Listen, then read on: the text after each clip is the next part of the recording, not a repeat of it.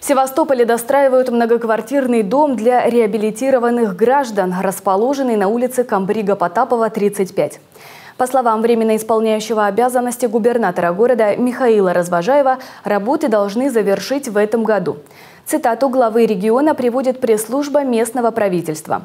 «Очень хотел, чтобы дом сдали к 1 сентября, но, к сожалению, подрядчик не успевает, хотя работает на объекте. Будем усиливать, держу этот проект под личным контролем». То, что в этом году дом будет достроен и квартиры будут переданы, лично обещаю.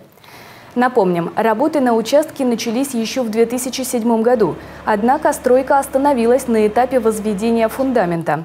После воссоединения Крыма и Севастополя с Россией доделывать бетонный недострой стали уже по федеральной целевой программе.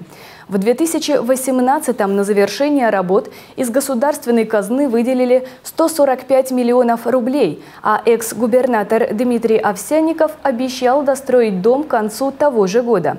Но подрядчик компания «Юж-Уралстрой» не справился с задачей. В декабре 2019-го с ним расторгли договор и объявили новый конкурс, победителем которого стало общество с ограниченной ответственностью «Высот спецстрой».